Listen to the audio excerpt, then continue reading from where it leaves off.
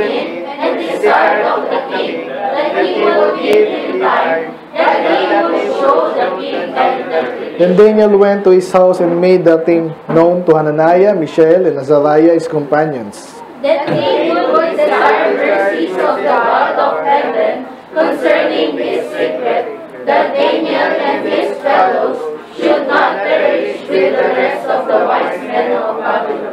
Then was the secret revealed to Daniel in a night vision, then Daniel blessed the God of heaven.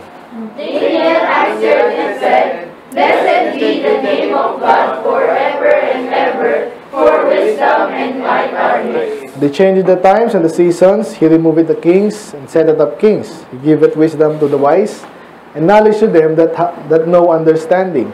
He revealeth the deep and secret things. He knoweth what is in the darkness, and the light dwelleth with him. I thank thee and praise thee. Sabay-sabay po tayo. Ready, go. I thank thee and praise thee, O thou God of my fathers, who hast given me wisdom and might, and hast made known unto me now that we desired of thee, for thou hast made known unto us the king's matter.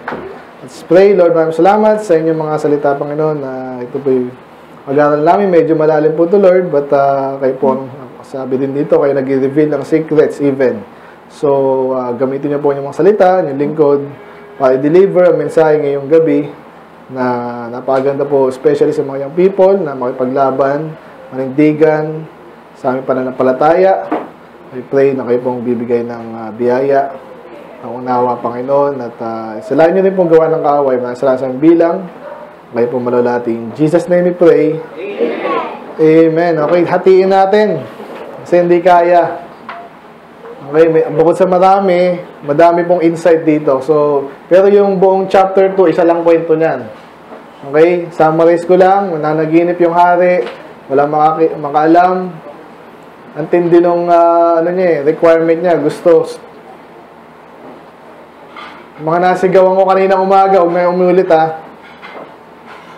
Psst, teka. Okay. Ito mga bata eh. Nag-chat-chat ka pa sa akin kanina. Yan, nag-chat na tayo dito ngayon. Makinig ka. Lahat ng sasabihin ko, sasabihin ko na. Yan. Okay. Nasabi ko kanina, so, ah, matindi po yung nangyari kung natapos natin niya si Joseph na meron tayong mga preaching kay Joseph, di ba? So, si Joseph ay nag-interpret din ng dreams. Ang, ang problema kay kay Joseph, kailangan niya munang marinig. Ano na, siyempre, napanaginipan mo yun, parang malalaman. Sabihin mo sa akin, saka ko interpret. Kay Daniel, ibang klase. Hindi niya, hindi mo na kailangan sabihin sa kanya yung dream. Siya na rin yung manguhula, ano yung dream mo. Nanaginip ako ano, hulaan mo. Hindi kasi na, nakalimutan din ni, ano din, ng hari, no? So, yun, sa sobrang gusto niyang malaman kung ano yung panala, yung ah, dream niya at interpretation, so talagang gusto niyang pumatay ng maraming tao para lang doon, okay? So, ang title po nito is, Show Me the Dream and the Interpretation. Okay, show me the dream and the interpretation.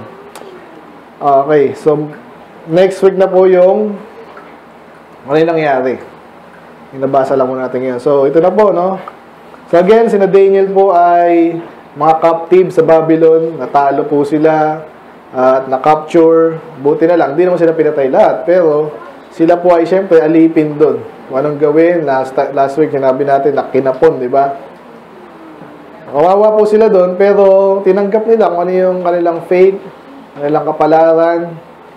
At nakita natin yung tagumpay nila sa chapter 1. So, hindi sila nag-compromise kahit sa simpleng bagay at nagbigay ng miracle ng Panginoon. Buhay sila, hindi sila napatay at mas magagaling pa nga sila sa iba. So, ganun po mga kabataan, gusto nyo mag-exciting ang buhay nyo. Ganun. Hindi lang basta exciting, ah, talagang pinagpala ng Diyos. Bakit na nag-compromise ka na, napasama ka pa? Eh, huwag ka na mag-compromise. Maglaban yung pananampalataya, mapahama ka man, Eh, para sa Panginoon yun eh. Pero madalas talaga nangyayari dyan. Ikaw pa yung pagpapalain. So, napakasaya. Anyway, dito, magpapatuloy po yung victory na na Daniel and friends. So, ang nangyari nga po, ito sabi dito, na naginip si Nebuchadnezzar, at sabi dito, wherewith his spirit was troubled and his sleep break from him. Parang binangungot. So, sa matindi yung panaginip niya. At, to the point nga na nagigising siya. Okay, pag sinabi sleep break. Naputol yung tulog. O siya pinagising. And then, the king com- commanded to call the magicians, the astrologers, sorcerers, and the Chaldeans for to show the king's dream, his dream, so they came and stood before the king. So, pinatawag daw po yung mga ano ba itong listahan na to? Magician. Totoo ba yung magician? Meron tayong preaching, di ba, yung magic. Lahat yun, kalokohan lang. Ang galing pag yung sa mata mo, parang nagpa, may power siyang something. Pero sa mata mo lang, niloko lang yung mata mo. Ang mata natin gano'n, madali yung magtago dito sa likod, ito sa sleeves, di ba? Kasi iba naman, tinatapon dito, di ba? Kasi may mga special ano sila, hindi lang basta cards yun. So, ang magic po ay hindi totoo. Astrologer. So, ito yung mga tumitingin sa stars. Ano makukuha mo doon sa stars? Tsaka sa moon. Wala din, ah, mga patterns may makukuha ka doon. Tapos, ang problema doon, parang mga scientists ngayon, yung natuklasan sila, may meron silang alam, and then ipoport nila sa isang bagay na hindi na nila uh, area of uh, specialty. Okay? Tatakil natin yung sa anti-atheist seminar natin. Makikita nyo, matatawa kayo. Hindi sa nagyayabang, pero talagang may mga hindi na iniwala sa Diyos kasi talagang may foolishness sila dyan eh. Maintindihan nyo sana yan. Okay? Kaya huwag kayong mawawala doon ha. Sorcerers. Pag sinabing sorcerers, mga mangkukulam. Ano mga alam mangkukulam? Mangkulam.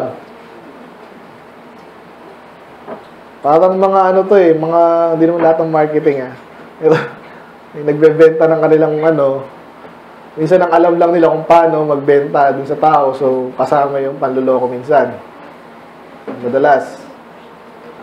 So ito kinukulam. So hindi ito mapagkakatiwalaan sa mga bagay na actually make sense. Na Encaldeans, ito na po yung sila rin yan eh. Mga lahi nila. For to show the king his dream, so they came to. So yan na. Pinatawag sila. Di gagawin nila. Kaso kaya ba nila? So sinabi ng hari, I have dreamed a dream and my spirit was troubled to know. Okay? Sabihin, yun nga, yung nakita niyang to, gustong gusto niyang malaman. At parang di siya mapahinga. Di siya makatulog, di siya, ano, no, trouble, ibig sabihin. Gusto kong malaman ibig sabihin nun. Then spake the Chaldeans to the king of in Syriac. Okay, Syriac is language lang nila. O king, live forever, tell thy servants the dream and we will show the interpretation. So, hindi naman masama, di ba? Alam niyo yung interpretation. So, ano muna yung dream? Ano yung sabihin ng dream? Yan pala muna. Panaginip. Kunwari, panaginip kung magkaroon ng sasakyan. Pangarap naman yun, di ba? Yung dream na panaginip naman, yung kasing na panaginip mo pag natulog ka, ano yun? Ano nga kaya yun, no? Sa panahon nila, kahit sa atin daw, hindi nila maintindihan yan eh. Alam niyo ba yun? Bakit sa pagpanaginip, napakalabo minsan? Naintindihan niyo ba yun? Sinong matindi ang panaginip dito? I-share niyo nga. Ako dati nung bata ako, lumilipad ako, ganyan. Nahulog sa building. Oh. Nauntog ka sa pader. Ako naman, para akong Spider-Man. Yun yung mga weird na ano ko eh. Matindi na, bumabalik ako doon sa building na, ano, yung dating building namin, yung ano. Hindi ko lang bakit. Pero yun ang natandaan ko, lumilipad ako, tapos may time naman, hindi ako makalipad. Ano pa ba? So actually, may mga time din na nahilig ako dyan. Meron mga website na sinasabi nila yung interpretation ng mga dream. Kunwari, may nakita kang ganyan, ibig sabihin ng ganyan. In a way, totoo eh. Meron. May ano, may konting, ano mo na. So, anong kinalaman nun? Ibig sabihin, ang dreams po ay merong dahilan. So, nakita natin yan kay Joseph. Sa Egypt, nangyari yung kanyang, actually, yung uh, panaginip ni Pharaoh na in- interpret ni Joseph. So, ganito rin po yan. Ah, kay Nebuchadnezzar naman, hindi po parang sa king of ah, Egypt, bakit sa kanila binibigay yung ah, panaginip? So kasi ang mga hari po ay hindi basta-basta tao, kung alam niyo naman, di ba? So forever silang nasa pwesto. So ang kapalaran ng ah, kanilang kingdom nakasalalay sa kanilang sariling kapalaran. Okay? So ano mangyari sa hari? Kung magaling ang hari, uunlad ang kingdom. Pag loko-loko yung hari, walang kwenta yung kingdom. Tamad, wala. Kung ano nangyari sa hari, ganun. Kaya po sa Bible, madalas uh, kinukumpara yung kingdom sa, sa king. Ganun po yun. Kasi anong mangyayari sa leader, mangyayari sa kanya na sakupan. And it makes sense ngayon na sa kanya mapakita ng Diyos yung mangyayari sa kanyang nasasakupan. So, ganun nga po nangyari kay sa Egypt, magkakaroon pala ng famine. Pinakita ngayon kay Pharaoh. At pero kung napansin nyo, ginamit talaga doon si Joseph. Parang may taas ang pangalan ng Panginoon. So, yung, yung family yun, pwede sila mapatay nun eh. Kasi hindi sila nagkaroon ng wisdom, wala si Joseph doon. Kataon na wala si Joseph doon. Patay sila, wala lang. Nakita nila, pero wala sila nagawa. So, ganyan din po exactly yung uh, sistema natin sa ngayon. Ngayon, parang halos purihin yung mga politiko, ano? Ah, pag ako na, nahalal, ganito ang mangyayari. Ang bira, dami, sino umusa, umasa dito kay Duterte? Ang sarap asarin nyo ngayon, no? Ewan ko minsan, mga, mga kristyanong matagal na, wala man lang pang-unawa. Eh. Wala, naniwala sila po doon. Yung mga pastor pa na, six months! Tapos, ang droga. Uy, okay talaga si Duterte. Sa Davao, walang drugs eh. Yung mga kwento sa akin doon. Hmm, tinatanong ko rin ng ano, alam mo na, in-inquire. Actually, di naman. Mukha lang matahimik. Kasi takot. Kasi pinapatay yung kalaban. Yun pala yun. No? Ngayon, nangyayari sa atin ganun din. So, hindi sinasamba ang mga ano ha. Hayaan lang natin, pag-pray natin sila na gamitin sila para sa atin. Sinabi po yan sa, saan ba sinabi yun? Romans 13 ba yan?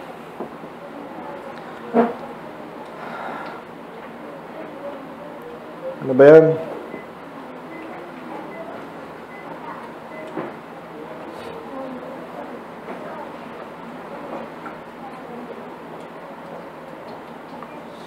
Timothy. Okay, pakibasa po. Ready, go. For kings for all that are in authority, that we may lead a and a peaceable life in all godliness and honesty. Sinong bida dyan? Sino yung subject ng ano? Okay. So ito muna, ah. sige. So nakita niyo dyan, mag-pray kayo. Sinong bida dyan? Sino bang mga taong uh, may care ang Diyos? Yan mga anak ng Diyos. Bida ba yung kings? Hindi. Sabi dyan, pala, panalangin lang natin yung mga hari, yung mga mayor, yung presidente, para sila ay maging pagpalain ng Diyos. Ganun ba? Minsan, ganun na sinasabi ng mga ano eh. Napansin niyo ba yun? Yung mga dikit sa politiko. Mag-pray naman natin si, ano, si Duterte. Huwag mong sabihin ganyan. Sabihin mo, ano siya, lumaba pa yung buhay niya para makarami pa siya ng babae kasi nakarami na siya eh. Ganun ba pray mo? Sige nga. So, ang prayer natin sa ang biblical prayer sa mga authority, pansinin nyo, hindi natin sila pinag-pray dahil ang bait nila at pagpalain sila. Yung mga unsaved yan, kung unsaved ha, kung saved na, nagtataka ako, ba't andun siya? Okay, so ang, actually sinasabi actually dito, context, pag-pray natin sila para sila naman ay yung ginagawa nila makapekto sa atin in a positive way. Natindihan niyo ba yun? So, kunwari, ah, yan, pag-pray natin sa Duterte, hindi naman makigera, for example. Pag-pray natin na sa kinukakot nila, may matira pa sa atin. Mga ganon. Oo. Oh, kasi hindi na may iwasan yun eh. Ang pag-pray mo na lang talaga na uh, especially tayo mga Kristiyano, alam natin, importante ginagawa natin. At least naman, wag naman sila magpasa ng batas na uh, ikakasal na yung mga, kahit ikasal yung mga bakla, Wala tayong pakialam dyan eh. Mangyayari, mangyayari yun eh. Huwag lang nila tayong pilitin. Okay? Huwag lang yung pagbawal yung preaching ng gospel. Na tayong ano dun eh. Hindi, hindi tayong katulad ng iba ng kala mo lahat papakilamanan. So kung ma- mapayapa ang buhay natin, magagawa natin ang ating ah, gawain, sapat na sa atin yon. So ba't ka napunta ba doon? Ah... dito sa ito kay ano, ano yung mga yung mga panaginip binibigay po yan sa mga leader. Okay, so ganun din po dito kay Daniel. So pero hindi niya na-interpret. So nagalit. So nagulat ba kayo ganyan yung mga ano yung mga hari? Para namang napakapiko naman ito, mga hari. Duterte may gumanon din sa kanya. Sa bagay, loko-loko rin yung ano, di ba? Alam niyo yung pinahuli. Ano yung ginawa doon? Oh, pati yung babae, di ba? Iba pa yun, yung isa, yung parang, mali rin yung sinabi niya, parang papatayin niya si Duterte. Ako, di ko sinasabi yun, ha? okay. So, paano nagbanta? So, pinahuli. Ang gusto ko lang sabihin ay, ah, ano gusto sabihin? So, bakit yung mga authority parang mga praning? Yun, yung term ko. So, so hindi lang na-interpret yung panaginip mo, patayin mo na yung tao. Ba't ganun? Ganyan po yung mga yan. Ganyan ang utak niya mga yan. Nagkaroon ng konting kapangyarihan, gusto nila gawing palawi, palawakin pa. So, yun lang gusto ko sabihin doon. Ngayon, so patay ngayon si Daniel kasi kasama po siya doon sa mga wise men. okay. So, anong gagawin natin? Parang sa pandemic din yan. Lalo niyo yan? Mga pastor, mga church, sarado kayo ha. Hindi kayo mag-church. Hindi, papahuli ko kayo. Diba? Sinabi niya rin yun. Yung mga pastor, eh, sige po, di, pa- online na lang kami. So, pero sina Daniel, di naman nila give up yung buhay nila, okay? Uh, Mapunta-punta doon. So, but if you show the dream, the interpretation, the you shall receive me gifts and rewards and great honor. Therefore, show me the dream and interpretation. So, so, pag gusto ko lang pakita dito, nakikita natin dito, again, yung kalokohan ng mga ruler. Kala nila lahat ng bagay na bibili.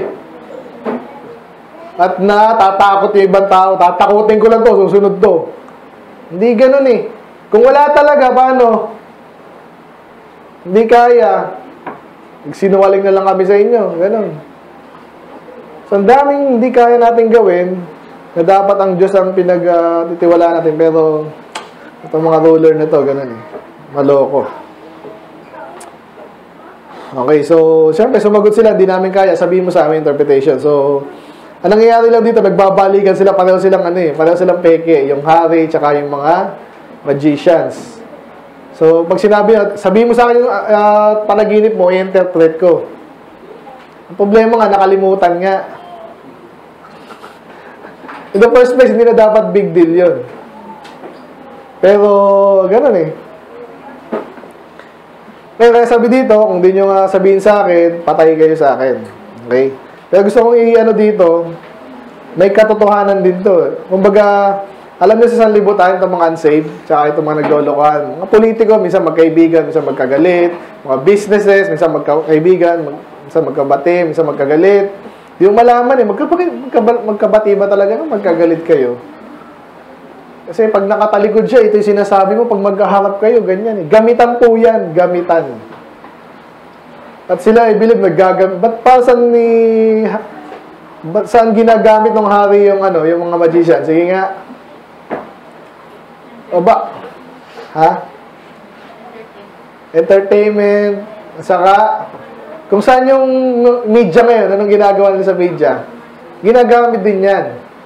Nabibili nila yan at pag nag-agree-agree na yan, lolokohin nila yung tao.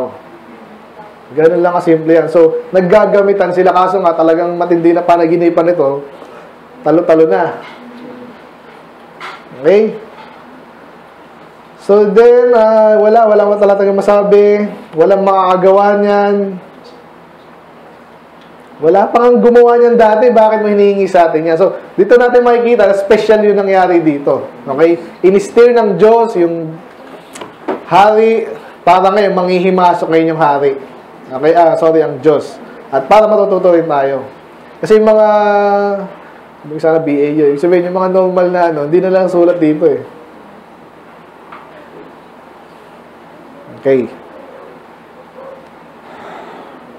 So nagalit nga for this cause, uh, the king was very angry and furious, commanded to destroy all the wise men of Babylon. So dito na nadamay yung si na Daniel, ating mga bida dito, mga lingkod ng Diyos, at uh, dito tayo may tutunan. So another lesson, minsan sa kalokohan ng ibang tao, kasi tayo mga Kristiyano, ginagawa natin halos lahat ng mga kaya natin para tayo, yung sabi nga si Timothy, para maging mapayapa tayo, magawa lang naman natin yung dapat natin gawin sa buhay. Di ba? Ganun lang naman gusto natin.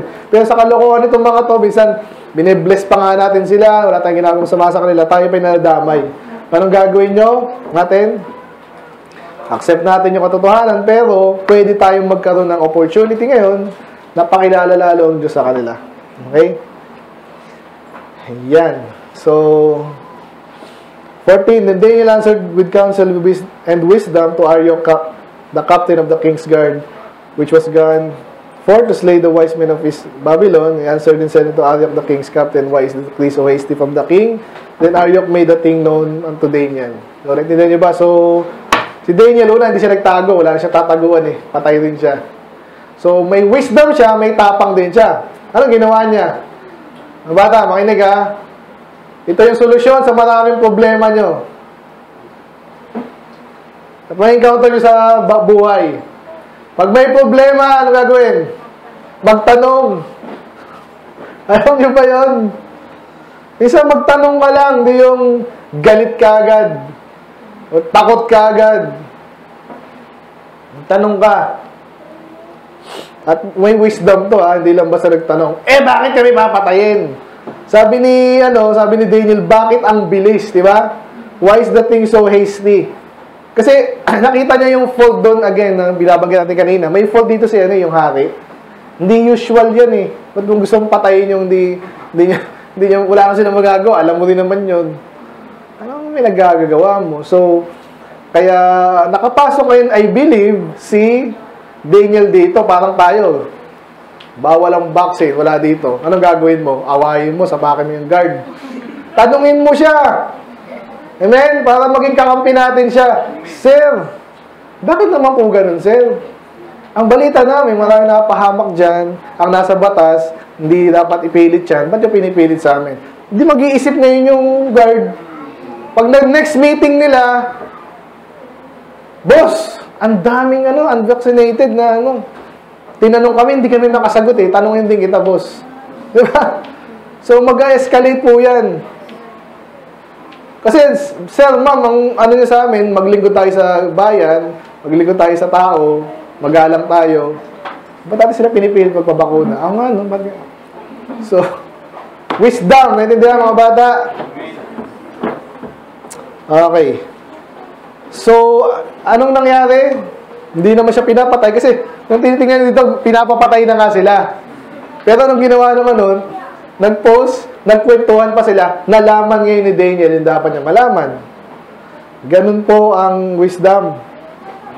So, in, pinasa, sinabi ni, ano, so, yung nabasa natin, kung ano yung binasa natin kanina, yun na yun. Pinaalam kay Daniel. So, ano ginawa niya? Nag-request na naman siya, no? Parang last uh, chapter 1, nag-request po siya, hindi siya mayabang.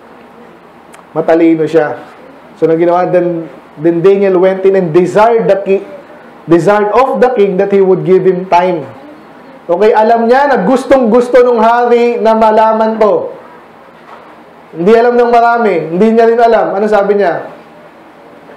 Oh, delaying tactics. Hindi masama yan. Wala na eh. Alam niya yung ano eh. Hindi na mababawi ng hari yun. Kung patay kung patay, sige, pwede ba bigyan mo kami ng time? Wait lang. Okay? And then, nangako siya, para sa amin kasi sa trabaho, ganun eh. Oh, bakit sila to? Ano yan? Hindi ko rin alam eh. Eh, wala namang ibang makakaayos nun. Ako rin. Bigyan mo ako ng oras. Ayusin ko yan. Kahit sabihin mong isang buwan, sige, at least maayos, di ba? Ganun yun. Kaya sabi daw, sige. Daniel went to, ano, anong next na ginawa niya ngayon? Isang impossible task. Anong gagawin niya pag may impossible task binigay sa inyo? Katulad lahat ng ginagawa natin, lapit tayo sa Diyos. Amen? At sa case ni Daniel and his friends, ah, sama-sama sila. So kanina nag-pray tayo. Salamat sa Panginoon. Nakikinig ko yung mga prayer nyo. Salamat sa mga leader. Amen? Ah, bukod sa tinutulungan nyo ako, tinutulungan nyo sila. Amen. Gawin natin po yun. no? Tulungan tayo. So, So ito, they would desire the mercies of God of heaven. So maganda nito, hindi lang si Daniel ngayon ha, magaling si Daniel, pero kailangan yung tulong ng kanyang kaibigan. So sabay-sabay sila nanalangin. Okay? At, ba't gusto nilang malaman yung dream din? Pansinin nyo, wala silang pakialam naman sa ano ng hari. eh. So hindi minsan masama kahit sa trabaho po, practical tayo dito sila, gusto lang nilang mang- mangyari, hindi sila mapatay. Sa, ganun po tayo din. Minsan sa trabaho, huwag kang ma-pride. Okay? Gusto mo lang naman kumita eh. Hindi naman yung sabihin nun ay akong dinadown. Down na nga eh.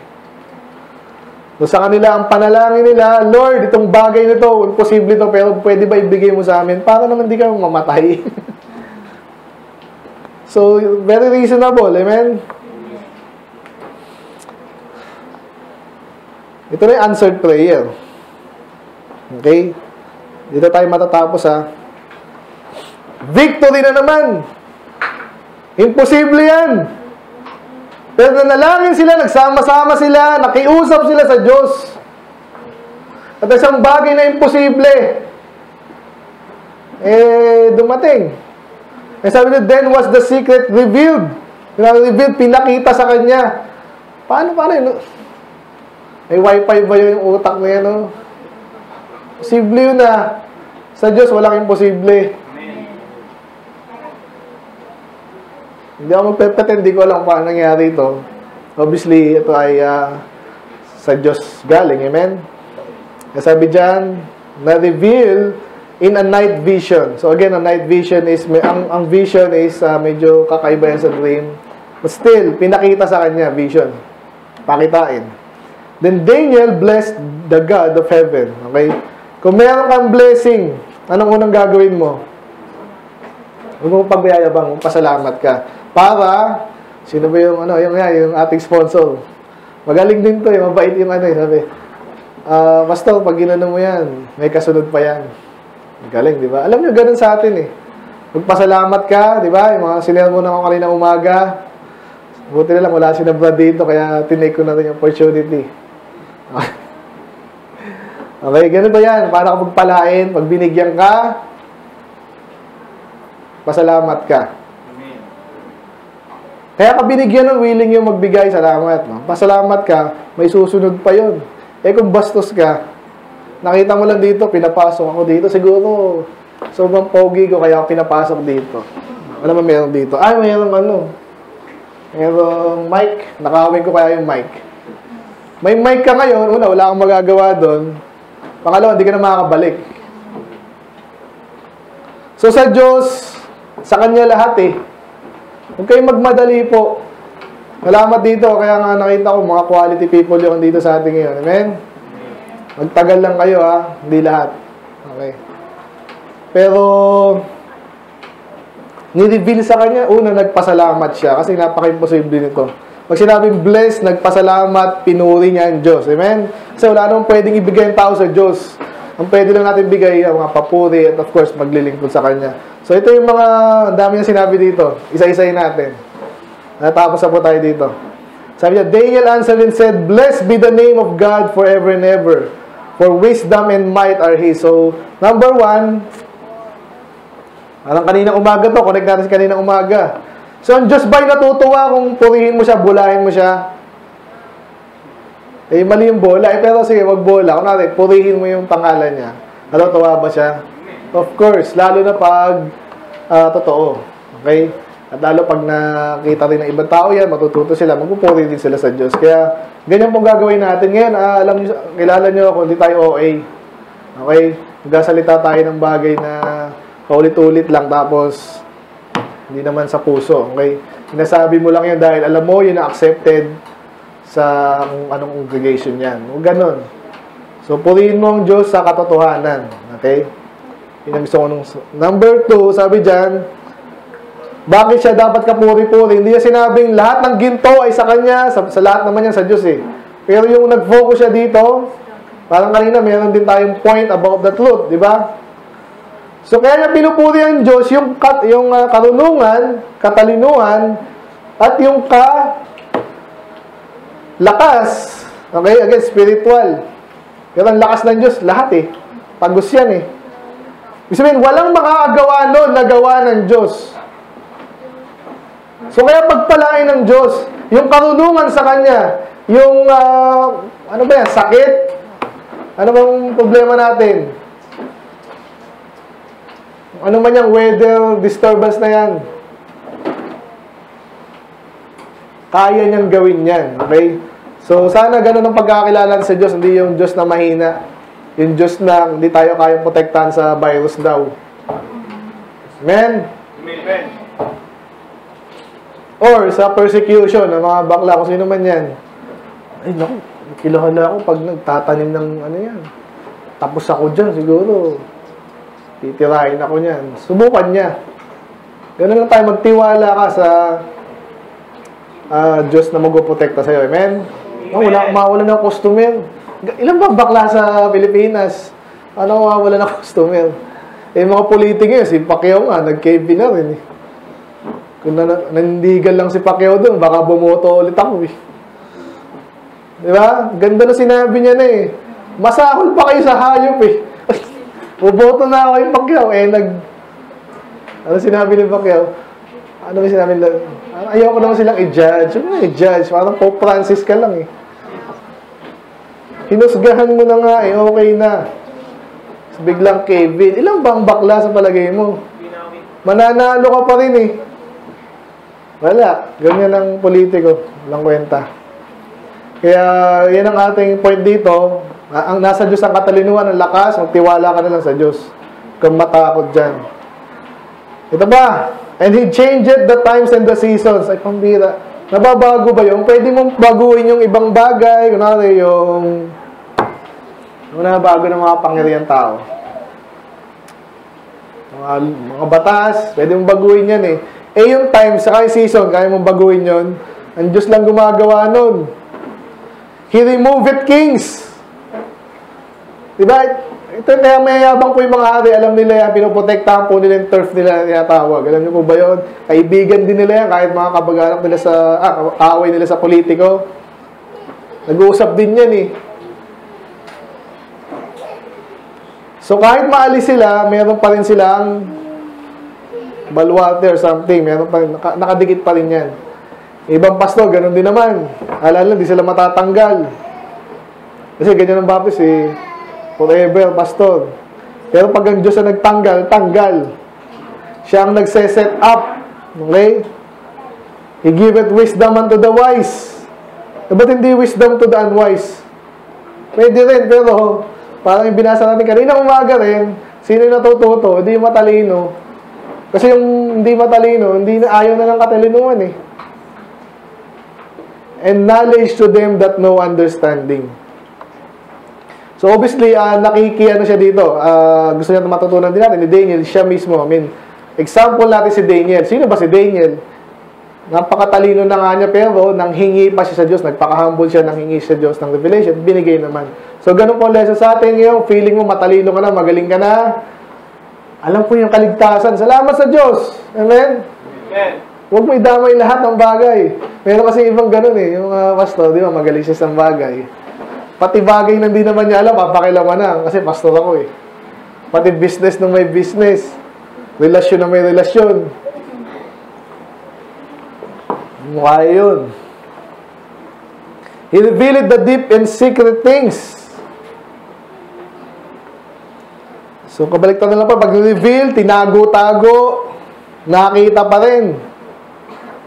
Okay? Kaya minsan, oh, kung nakapansin nyo naman siguro, Okay, ako po'y... Okay, pwede kayo magtanong. Ako yung taong mayabang. Tanong-tanong kayo para alam nyo rin. Pero, ba't, basta minsan nagsasalita ka ng mga bagay na kala mo, alam, alam mo ba talaga yun? Yung, yung mga inisip ng kapolitiko, alam mo ba talaga yun? Ba't ko sasabihin kung hindi? Hindi ko man alam yung details, yung sinasabi ko sa inyo, yun yung kailangan nyo malaman. E, paano mga nalaman yun? Nare-reveal po yan. Again, sa salita ng Diyos, sa pattern. Ano yung pattern?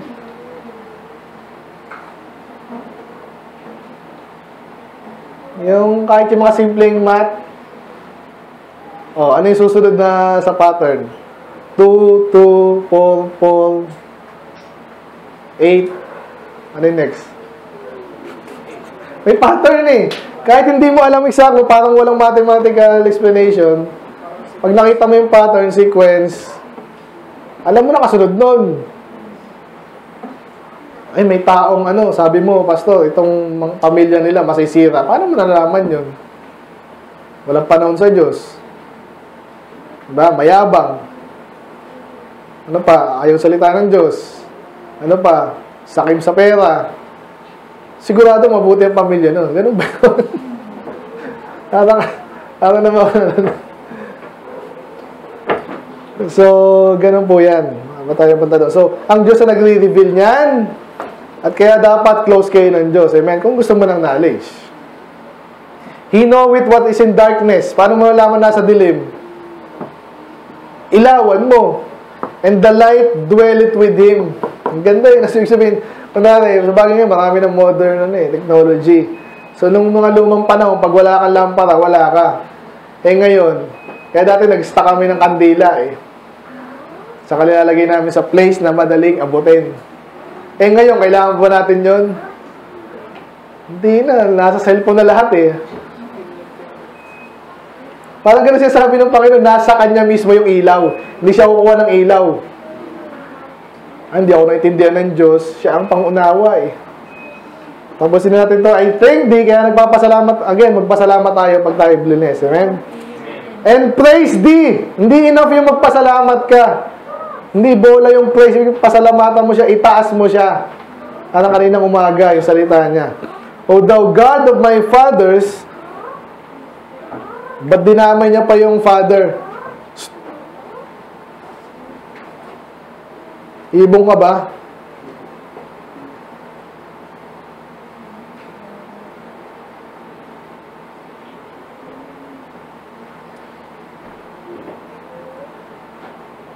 Na ako. Sa? Bakit nakasama yung father? So, ini-invoke niya yung history. Okay, for example, ganito, yung maganda yung kinakanta natin sa choir. Hindi pala tayo, yung ating pinapakinggan na sabi ni Brad, kantahin daw natin. Ah, so, mahirap yung dakilang katapatan, di ba? Ano sabi doon?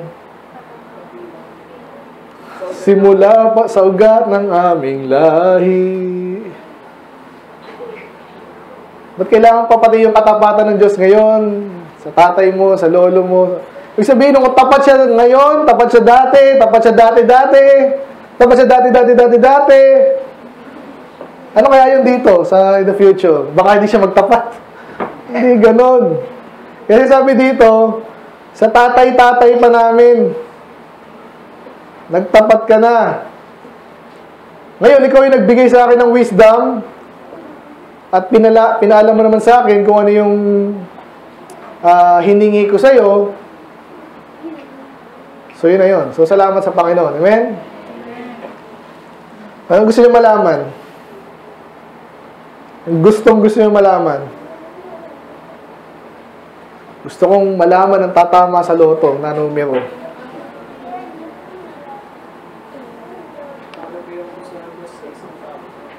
Ha?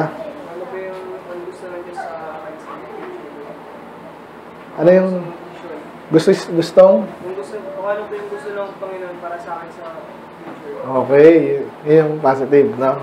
Tama yun. But pinala, pinalalangin ko yun ng ilang taon. Hindi ko makakalimutan. Meron kami mga prayer, ano,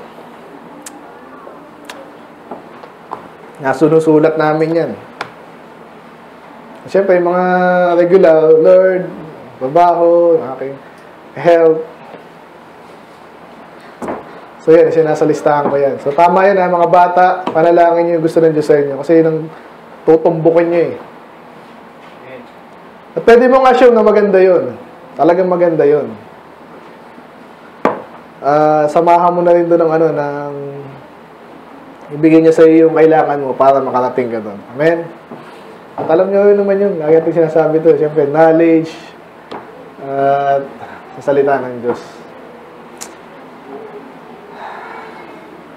Imposible yun, basta paano malaman yun? Future yun eh. Ito nga, panaginip ng isang tao eh. Inaalam sa kanya, hindi imposible yan. Amen? Sige, tama na. So, next week, ano natin? Para bitin, ha? Ano kaya nangyari? Nireveal sa kanya, ano mangyayari? Exciting. Ah, sige, let's pray. Lord, maraming salamat sa napakagandang kwento ng buhay ni Daniel. Panginoon, exciting. Kakaiba po yung mga nangyari sa panahon niya, especially na positive way. Ginamit niyo siya. Parang ah, sa panahon namin parang magdududa ng iba. Marami.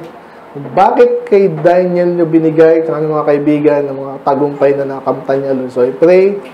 Niwala kami sa inyong character din, Panginoon. Ginawa niyo kay Daniel yung ibang klase naman ng gagawin niyo. At least ito ay ka equivalent din po, Lord. Nagtatapat kayo. Ah, pag kayo po ay nagtiwala din naman sa inyo. Nakita namin yung last week. Ah, sinalba din po, Lord, sila sa sa sa compromise, nandigan sila. But this time naman, kamatayan. So I pray na makuha namin ang message as we continue sa Book of Daniel. ah, kung anong ah, nakikita namin yung connection sa Revelation. Panginoon, I pray, mga bata especially, maging matapat sila sa inyo. Ang expectation namin sa inyo, napakataas. Dahil isang kulang pa nga ito, kaya nyong abutin, i-fulfill ng pangako at ang even mga bagay na hindi pa nga namin hinihingi. So I pray na kami po ay gagabayan niyo, Lord, para mag-expect ng tama sa inyo, Lord. At iandaan niyo rin po kami, Lord, sa plano niyo sa amin. Na yung kakailangan namin para makapaglikod talaga ng tapat, maayos sa inyo, Panginoon, in the future. And even in the present, Panginoon, na pagkaloob niyo po, Lord, uh, pinagpapasalamat namin ito, Lord, last, lahat. Ah, dahil nakita namin katapatan niyo, Lord. Maraming salamat sa the rest of the week or the past week, Panginoon. Ang katapatan niyo rin, kahit may mga matigas na pala ang puso doon, meron pa rin na sa pamilya ng Ma'am Joanne, na nakinig at naligtas, Panginoon. So, bigyan niyo po kami kapahiman ngayong ah, linggo naman po, Lord. Tuloy namin yung dating ginagawa mga pag-aaral namin, Panginoon. Bigyan mo ng favor, bigyan mo ng tatalinuhan sa aming trabaho. Favor din po, Lord, and blessing. Yung mga nagsisimula, Panginoon, salamat po, Lord, sa mga tatapat, nagtiwala sa inyo. Gabayan niyo po ang bawat isa. Kailangan po, Lord, in Jesus' name we pray.